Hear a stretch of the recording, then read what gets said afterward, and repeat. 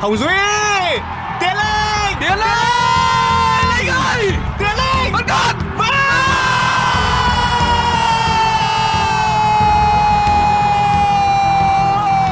Tuyệt vời Tiến Linh mặc áo số 22 Của World Cup. Minh Vương. Vẫn là Minh Vương rất nhịp nhàng! Tiến lên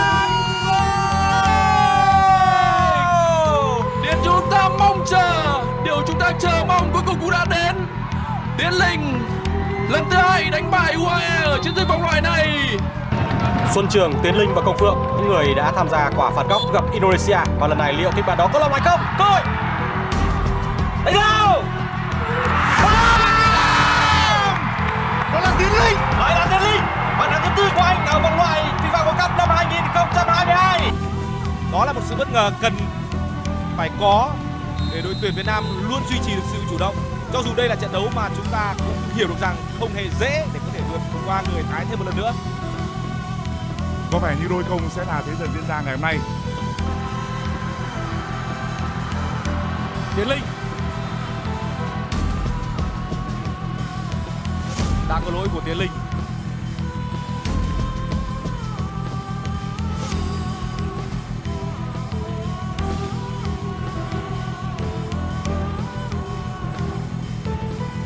Abdurrahman.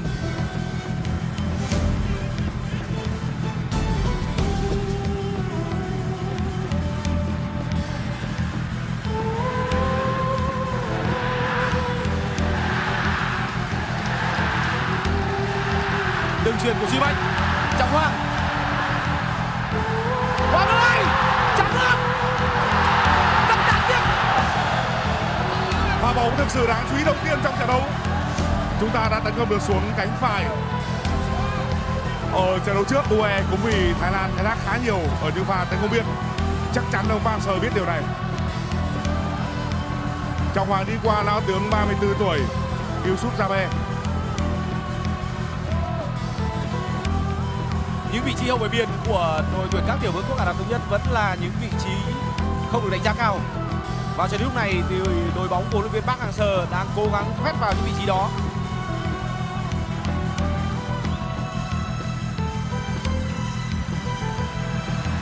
Nhìn động tác xử lý rất bài bản của các cầu thủ đỏ.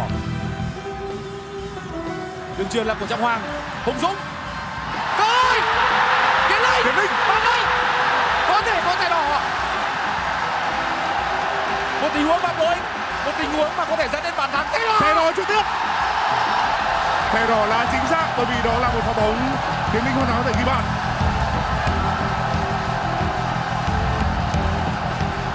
không cần phải tranh cãi gì nữa với những pha phạm lỗi như vừa rồi.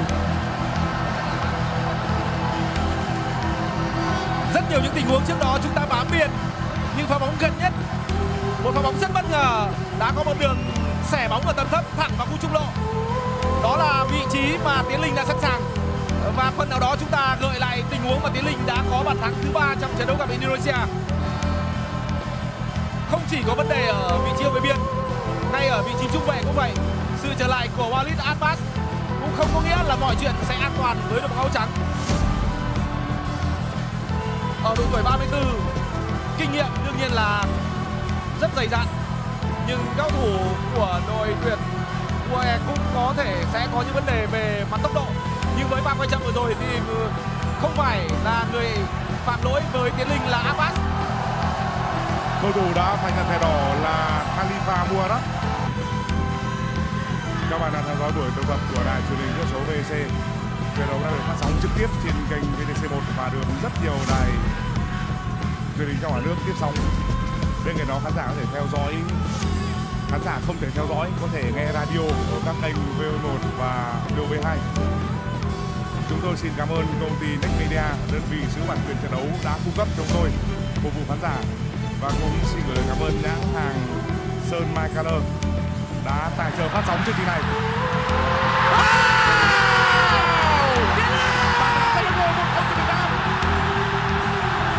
Không để trước Sơ một cú sút ta tay rất tư và táo bạo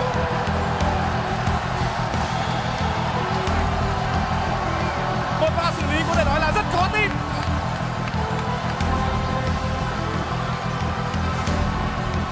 có thể thăng hoa trong bầu không khí đặc biệt như thế này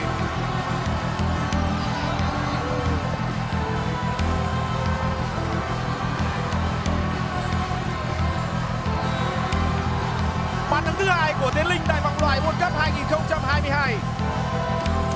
Cũng là một cú đá bằng chân phải, nhưng cự ly thì rất xa. Khoảng cách có thể nói là lớn. Và rõ ràng đó là à, một thời điểm mà ít ai dám ngờ rằng đó là cú dứt điểm. Sự khi xem lại, chúng ta có thể thấu ờ, hiểu được tính hợp lý của nó. Cú đá quá xuất sắc. hai mùa giải ở đây tiến linh đã trở thành một tay săn mà lợi hại tại V-League. Tuy nhiên ở V-League thì có lẽ anh cũng chưa đá được quả bóng nào đẹp như này. Ấn tượng bất ngờ thế này từ xa. Đường truyền của tuấn anh cho đào văn hậu. Và phải bóng vào quá đâu tình huống vừa rất hay bóng xuống nách vào phòng Donovan Một tình huống tổ chức ở góc trái có thể nói là cực kỳ đường nét. Nhưng trở về với ờ, màu áo đỏ trong một trận đấu có nhiều thuận lợi như thế này, chúng ta chờ đợi khoảnh khắc mà công vượng có thể tỏa sáng. Đoàn Văn Hậu chuyền bao, để bóng. Đó rõ ràng là một tình huống có ý đồ. Bóng được đưa ra biên và khi nó được trả vào trung lộ, đó là một đường truyền ở tầm vừa phải phù hợp với một đá băng cắt của các trung hồng. Một lần nữa người băng vào là Tiến Linh. Đây có thể coi là trận đấu sống còn với chiếc ghế huấn luyện viên trưởng của ông Mark Menemi. Một pha phạm lỗi của cầu thủ số 8 bên phía đội tuyển Indonesia, đó là Rito. Thêm một trận đấu nữa, huấn luyện viên Mark Menemi thực hiện rất nhiều sự thay đổi trong đội xuất phát của đội tuyển Indonesia. Lutra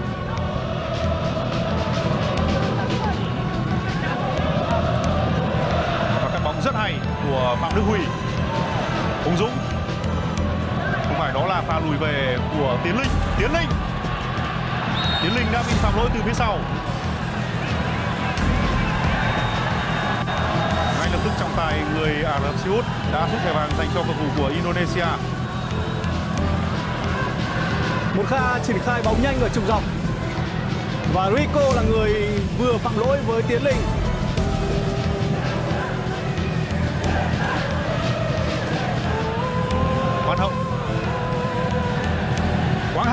Hải đường truyền cho Tiến Linh. Tiến Linh có thể dứt điểm bằng chân trái.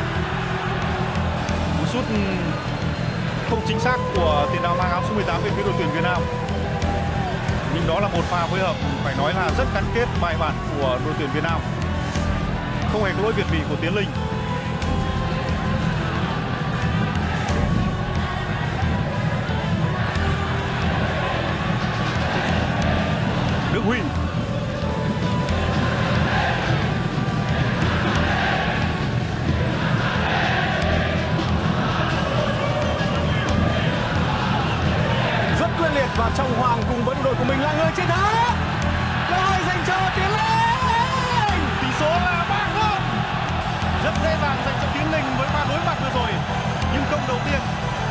Kể đến Trọng Hoàng với một pha xử lý đầy nỗ lực và kiến tạo cực kỳ thông minh.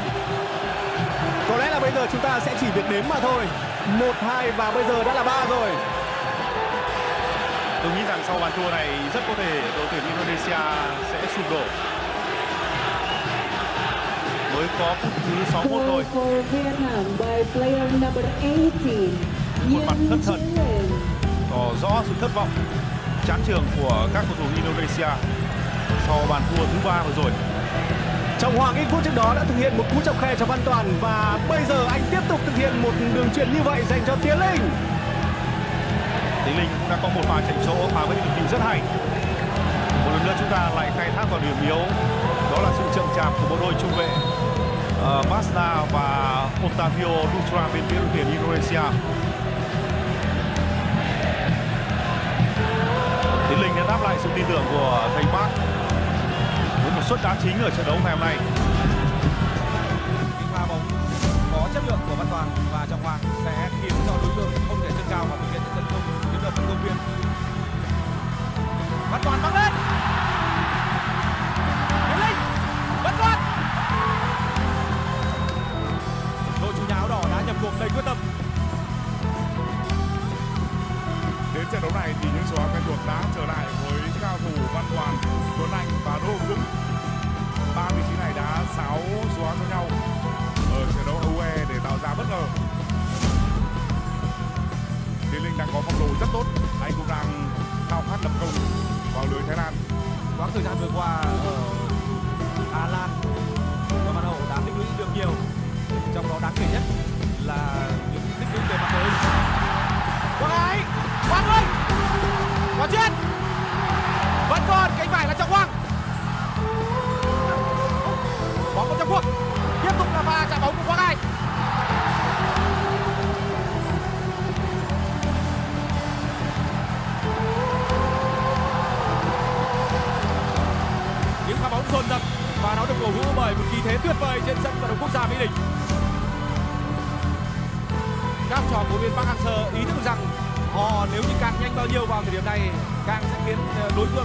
thế bối rối.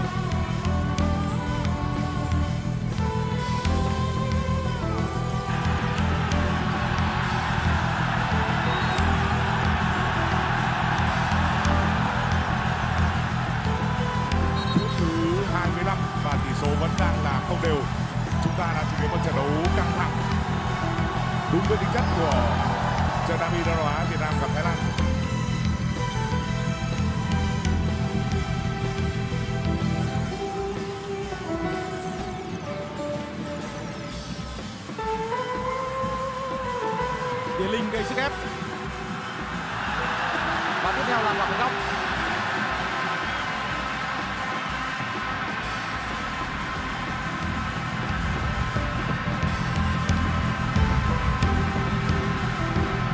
và có thể có những pha xử lý bất ngờ ở tình huống này đã không trúng tầm bóng của Quang Hải. Đỗ Việt Vinh trợ lý trọng tài đã ngang giờ báo về vị đó là trợ lý số 2 An Khai Thị Đoàn Văn Hậu đã xuống hơi sớm hơn so với đường truyền. Chính xác hơn là hậu vệ cánh trái của đội tuyển Việt Nam đã di chuyển lên để mà tránh bẫy việt vị hơi chậm. Nhưng miếng chiến thuật này là một miếng chiến thuật rất đáng để chờ đợi.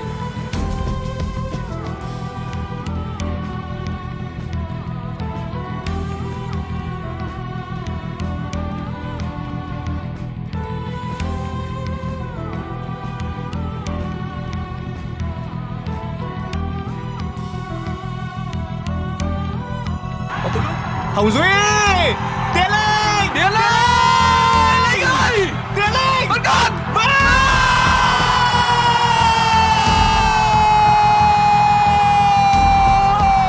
Tuyệt vời Tiến Linh mặc áo số 22 Các trọng tài đã chỉ tay vào chấm giao bóng dù các cầu thủ Indonesia cho rằng bóng đã chạm tay của Tiến Linh.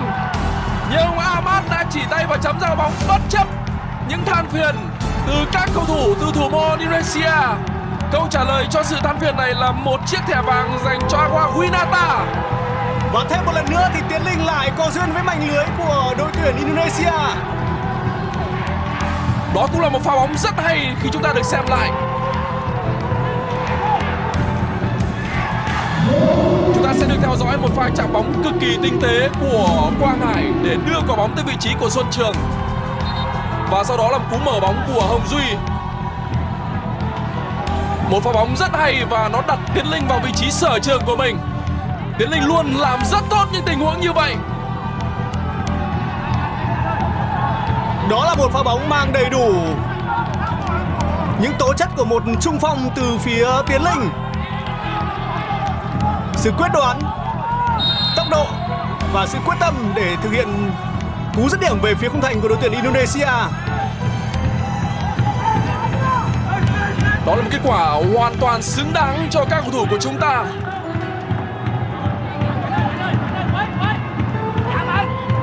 Và ghi bàn thứ ba trong chiến dịch vòng loại World Cup của Tiến Linh và nó mang lại sự vỡ hòa của huấn luyện viên Park Hang-seo ban huấn luyện và các cổ động viên và tôi tin rằng ngay cả bây giờ đã là một giờ sáng rồi thì nhâm vàng cũng đã vang lên để ăn mừng bàn thắng này của Tiến Linh của World Cup. Minh Vương. Vẫn là Minh Vương rất nhịp nhàng. Tiến lên. Điều chúng ta mong chờ. Điều chúng ta chờ mong cuối cùng cũng đã đến. Tiến linh lần thứ hai đánh bại UAE ở chiến dịch vòng loại này. Phải là như vậy. Kể cả có thua đấy chăng nữa Tuy nhiên chúng ta vẫn phải có một bàn thắng Để mang lại niềm vui cho các cổ động viên. Tiến Linh vẫn tỏ ra có duyên để ghi bàn vào lưới UAE Các bạn hãy cùng thưởng thức lại màn thêu hoa dệt gấm này của đội tuyển Việt Nam. Minh Vương, Quang Hải, Minh Vương, Tiến Linh. Một loạt những tình huống phối hợp nhanh, nhuyễn và xuất sắc Được kết thúc bằng cú chạm bóng tinh tế của Tiến Linh. Quá hay! Một pha phối hợp xứng đáng được đưa vào sách giáo khoa.